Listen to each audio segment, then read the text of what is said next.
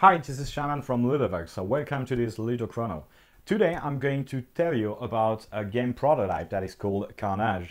So this is a game from Devil Pig and that is going to be on Kickstarter for March 2016.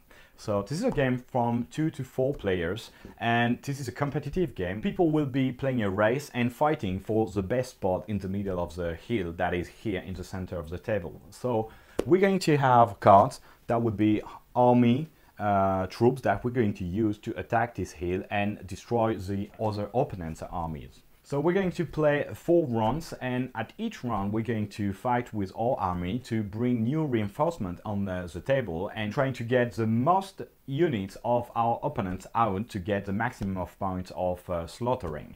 So basically each of these rounds we will compare the number of units that we'll bring out, that we'll take out from our opponent's army and earn 5 points for the first one, third for the second one and finally 1 for the third one. Additionally, we'll be able to gain bonus points from Carnage points. That would be a card awarded each time a player will be able to take out the entire army of another player. To play it's very simple, so you get a hand of cards that will indicate an initiative value, uh, reinforcement symbol that will help you to, to, to know how many troops will be able to bring on the battle this turn, and a symbol of attack. There are two symbols of attack, one that would be for melee attack and another one that would be for range attack. Each one of your troops will have different useful information on it. So basically you have a, a, a, small icon on the border that will indicate you whether this is a card for the first uh, rank of your army, the second or the third one. And you will then place your army uh, troop according to that symbol. The second thing would be the value of uh, the health of your unit. So basically this one can handle two points plus it has an extra shield that would be a value useful to, to soak some damage from your opponents. And the final information will be this symbol that we have in the top on the top of the card. So basically there would be the combat value, sometimes some elite information that will give you some extra shot at your enemy, and sometimes also some reinforcement that will help you bring new units on the on the board. So we're going to choose at each round one card of initiative from our end and put it on the middle of the table. So here, for example, every player will put one card on the table. Then everybody would just turn the card face up and we compare the value. And then we go in order. Here, for example, that would be the human player going first. And so we'll resolve all the symbols of the card from top to bottom and from left to right. So here, for example, we know that it can bring one, two, three, four, uh, four basic units on the battle. So it will draw four cards from his uh, army stack. And then the black flag indicate that he can either just bring a standard unit on the table or he could choose his boss. That would be a special uh, unit that it will have in the hand at the beginning of the of the of the game, and that would be extremely strong. But you you have it only once because if you get destroyed, you get, don't get it back in your army. And after you have done that, you would just place the army according to the symbol I told you a bit before. So here we go. So there are many units to place on the table. so we hope that it fits.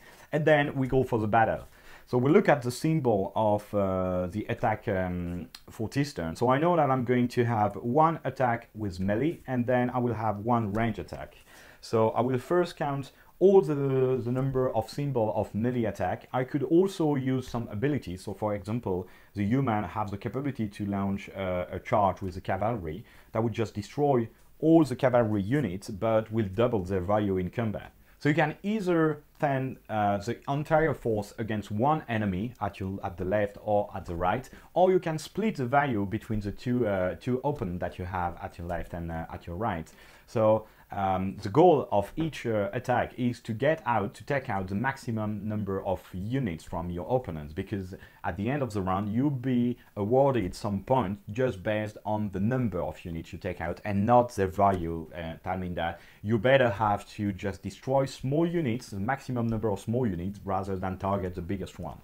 So, for example, here, let's say I have something like 20. Uh, I didn't make the exact calculation. So here I have um, free to, uh, to be used to destroy that unit because it has an additional shield and then 4, 5, 6, 7, 8, 9 so I would just destroy all the unit of that player. I also will have to destroy some unit on this side because I said I'm going to split So I'm going to start from the bottom line, first line, and then I could go up and I would try to destroy maximum number of units, something like that. And then, now that I have done my melee attack, I will go to the next symbol. So sometimes the card will only display one symbol, which means that you're going to do only one attack. And sometimes you get some other symbol. So you can do some massive melee attack twice uh, for round, or sometimes you just get, for example, here, now a range attack. So for range attack, I will look at the symbol here for my archers. I see I have only four, and I could attack someone else. So that would be very opportunistic, but I could attack anyone around the table, not only my neighbor. So here I would just get out these two additional units from the opponent that is facing me, and that is two new units that would be scored at the end of this round. So everybody will do that in the order of the initiative. So now that would be that player, uh, drawing some cards, playing some attacks, and scoring some uh, some units, and until everybody has played around the table. Now that the round is over, we just count how many units we took out this turn. So 1, 2, 3, 4, 5, 6, 7, 8, 9, 10, 11. So this is quite a, a big attack and big score to have 11 uh, units uh, out. And then I will compare to the other player. The player with the highest count of uh, dead unit will get the 5 points uh, card. The second one will get the third one and the third one will get only 1 point. So if there is a fourth player that is under the other one, it doesn't get any, any points. One thing that I didn't tell you uh, about, and this is quite fun in the game, is the Carnage uh, card that will get you an extra point if you manage to take out the entire army of uh, an opponent. So when something like this happens, the attacker has to yell, Carnage! And everybody around the table, even the one that got slaughtered, will have to say, yeah, if anybody missed that step, it would just lose one uh, carnage point he may have uh, earned uh, uh, a previous turn. So this is quite important that even if you get slaughtered by another player, you'll be happy about that. And you express some excitement about that, uh, especially if you expect to do the same thing to him on the next turn. So we're going to play four rounds. Each time we'll draw another initiative army card that will give you some new option. And at the end of the four rounds, we just calculate how many points we have with the sum of this award will get uh, every round plus the carnage points. The guy that will have the most points will just win the game.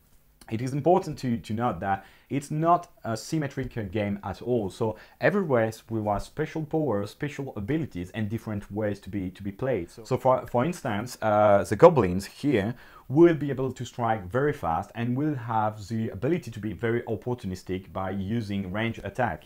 Here we have the human that would be using the cavalry charge that would be quite deadly and also to use magic that would be used for boss, melee and range attack. We have the orcs that would be an extremely powerful uh, strike force but that would destroy themselves as well. And finally we have the slow and sturdy drafts that would be quite good if they manage to stay on the table because they would become a quite a good force but that would be very slow to, to get out and to be efficient. So you know almost everything about Kharnage now. See you on Ludovox.